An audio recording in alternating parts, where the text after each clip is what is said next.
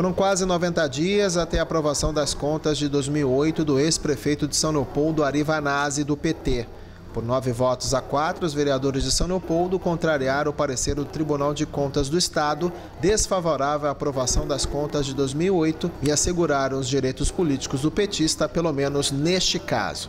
Os legisladores ratificaram o parecer da Comissão de Finanças, Orçamento, Economia e Planejamento, que recomendou a aprovação com ressalvas, aplicação de multa de R$ 1.500 e fixação do débito de 25.600 mil reais. A decisão não tem qualquer relação com a impugnação da candidatura de Vanazzi, no qual o Tribunal Regional Eleitoral anulou os 33.850 votos e que aguarda julgamento no Tribunal Superior Eleitoral. A sessão, que durou cerca de uma hora e meia, foi acompanhada por apoiadores do ex-prefeito que saiu nos braços dos populares após o encerramento da votação.